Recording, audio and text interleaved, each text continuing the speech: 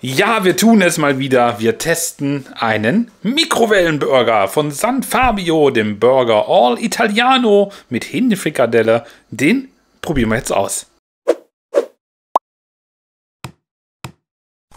Willkommen bei der Foodschau. Ja, im Vorspann habt ihr das gesehen. Der San Fabio Mikrowellenburger von Penny. Ja, den habe ich durch Zufall da gesehen und dachte mir, komm, wir tun es mal wieder. Wir testen einen Mikrowellenburger. Wir hatten bei Mikrowellenburgern, glaube ich, bisher nie wirklich was Gutes, außer einen, muss ich wirklich sagen. Einer war mal okay und der war auch von Penny, das war der hier oben.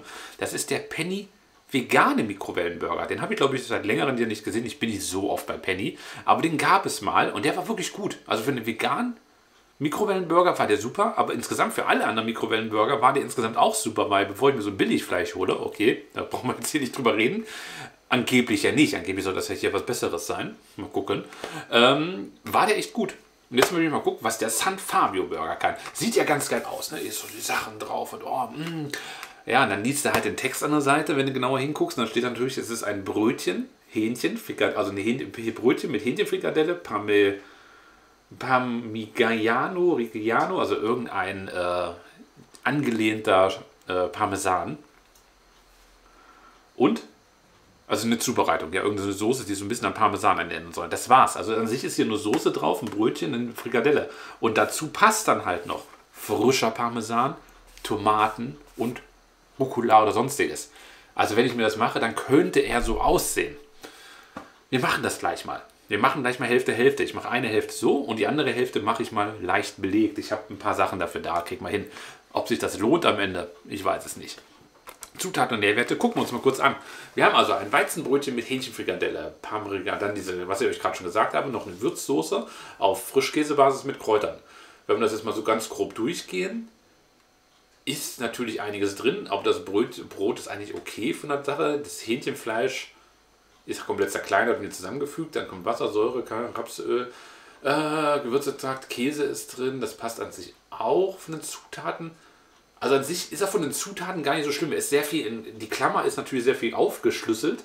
Äh, Kalorien hat das Ding 193. Geht eigentlich auch okay. Und dauert in der Mikrowelle bei 600 Watt 90 Sekunden und kommt von der Allfein Feinkost GmbH. Ja, klingt also im ersten Moment gar nicht so schlimm. Es ist immer noch Mikrowellenburger, aber wie gesagt, von den Zutaten ist er mal so ein bisschen besser. Ob der am Ende aber wirklich schmeckt, das finden wir gleich heraus. Ich schiebe den jetzt gleich erstmal in die Mikrowelle, dann wird er belegt von einer Seite und von der anderen Seite und ihr seht dann gleich mal das fertige Ergebnis und dann probieren wir ihn. Ja, und hier ist er jetzt, das Prachtstück, frisch aus der Mikrowelle. Ich habe ihn natürlich schon eingeschnitten, aber ihr seht natürlich, jetzt ist natürlich wieder dieses extrem weiche Brötchen. Und wenn wir uns den jetzt mal hier so angucken, ja, also es ist ordentlich Soße da, das kann man wirklich sagen. Also da haben sie nicht dran gespart. Also das sieht man hier auch, das ist wirklich gut Soße. Unten ist diese Kräutermischung, die da unten ist. Also die ist wirklich auch verteilt. Ich musste mit dem Messer noch mal ein bisschen was nachstreichen, aber es war wirklich genug da. Ich habe hier nichts ergänzt. Hier habe ich aber ergänzt, denn ich habe ihn ja einmal so gemacht wie auf der Rezeptur. Jetzt ist er mir natürlich schon ein bisschen verrutscht. Mit ein bisschen Parmesan, noch Salat drauf, Tomaten drauf. Ähm, das ist für einen Mikrowellenburger dann aber auch, denke ich mal, schon wieder ein bisschen besser, ne? Man kann sich sowas ja pimpen und das sind ja einfache Zutaten. Okay, Parmesan hat man vielleicht nicht immer da, ich schon. Aber jetzt wir das Wichtigste.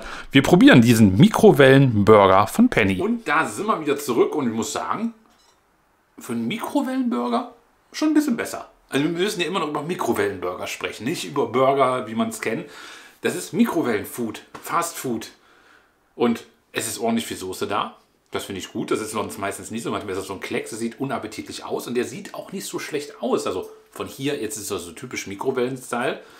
Aber das habe ich schon schlechter gesehen. Weitaus schlechter.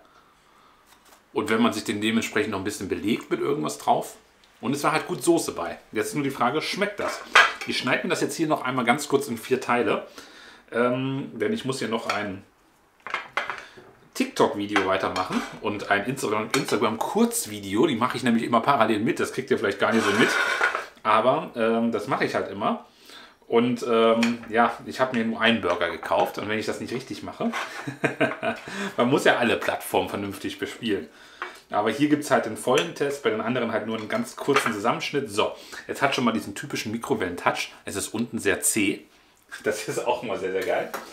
Ja, und jetzt probiere ich erstmal den Burger so wie er ist, mit Soße, mit äh, allen drum und dran, ohne dass ich was dabei getan habe.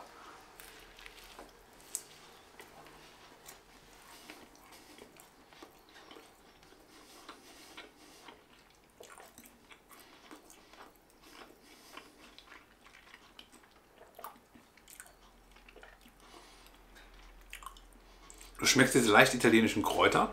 Die Frikadelle ist, muss man sagen, eine von diesen Heti-Frikadellen, diesen fertigen, mal eine der besseren. Die ist wirklich sehr, sehr zart. Aber du, es schmeckt wenigstens auch noch nach Hähnchen. Und nicht dieses zerhäckselte, ekelhafte Zeug, was nach nichts schmeckt. Die hat wenigstens noch Geschmack. Die Soße passt gut. Das Brötchen würde ich mir, glaube ich, lieber toasten. Ist aber schwierig, weil die Soße schon dran ist. Dann könnt ihr euch von außen noch mal ein bisschen antoasten.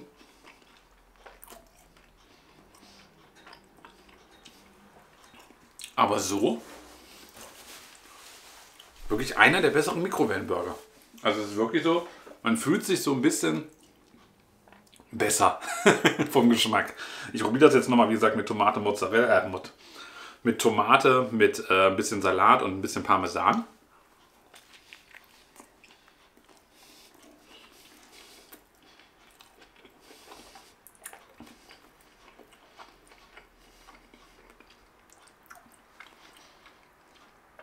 Ja, okay, dann schmeckt es, ist ein ganz anderes Level in dem Moment. Wenn du jetzt diese Frische dazu bekommst, noch der Geschmack vom Parmesan, der nochmal das viel intensiver macht, dieses salzige. Also wer Parmesan gerne isst, so wie ich, der weiß, wie geil Parmesan schmeckt. Aber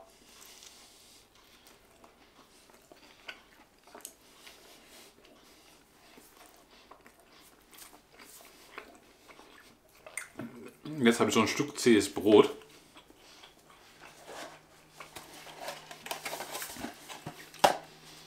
Für einen Mikrowellenburger ist der sehr, sehr, sehr gut, muss man sagen, im Verhältnis. Also ich habe, wir haben ja schon einige Mikrowellenburger getestet, auch von anderen Discountern, wo ich auch teilweise wirklich sauer geworden bin, weil das war einfach so ekelhaft. Das hat nichts mit leckerem Geschmack zu tun.